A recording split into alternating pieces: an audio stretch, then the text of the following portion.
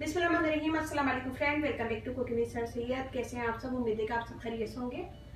आज की नई और सीक्रेट वीडियो में मैं क्या बनाने जा रही हूँ चल के इंग्रेडिएंट्स देखते हैं।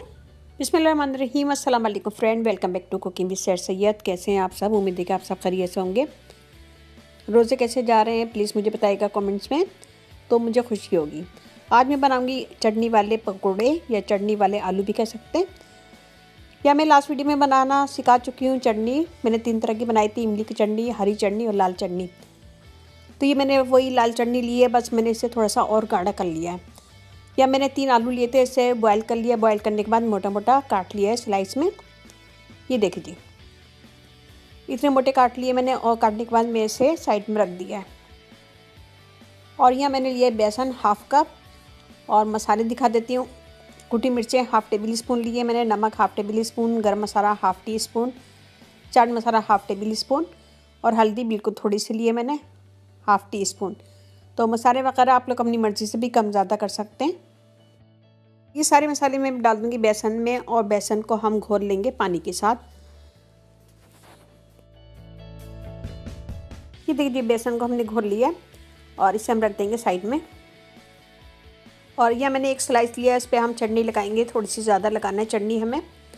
तो चटनी लगाएँगे, इसी तरह हम सारे बना लेंगे आलू। तो चटनी ज़्यादा लगाइएगा, क्योंकि हमें चटनी वाले आलू बनाना है। तो हम चटनी लगा के इसे थोड़ा सा ज़्यादा से ज़्यादा चटनी लगाएँगे और इसे साइड में रखते जाएँगे।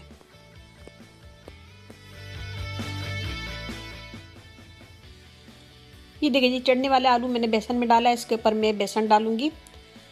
बेसन से कवर करेंगे, ऐसे चमचे से निकालेंगे। और दोनों स्पून से, एक स्पून से हमने निकाला है और दूसरे स्पून से हम इसे तेल में डाल देंगे। ये देखिए, जब एक तरफ़ से ये फ्राई हो जाएगा तो हम इसे पलट देंगे और दूसरी तरफ़ से भी फ्राई कर लेंगे। तो इसी तरह हम सारे बना लेंगे, अपने फ्राई कर लेंगे दोनों साइड से तो दोनों साइड से फ्राई करने के बाद मैं इसे निकाल लूँगी। तो ये देखिए, इसी तरह एक दफ़ा और मैं बता रही हूँ हम आलू डालेंगे और चटनी वाला ऊपर रखेंगे हिस्सा। आलू बेसन से इसे कवर करेंगे और दूसरे स्पून से निकाल के हम इसे ऑयल में डाल देंगे।